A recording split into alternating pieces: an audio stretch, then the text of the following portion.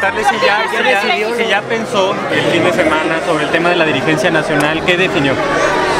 Así es, así es. Este, yo quedé con gobernadores, con Damián, el presidente del partido, con Anaya y varios liderazgos a nivel nacional de tener una respuesta el día de hoy, que iba a ser un tema eh, para reflexionar y hablar con la familia y no voy.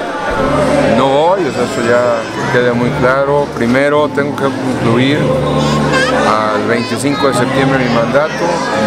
Sí, segundo tema de familia, donde es un tema familiar y, no están las circunstancias para, para buscar la presidencia del PAN. Yo con esto dejo cerrado definitivo el tema.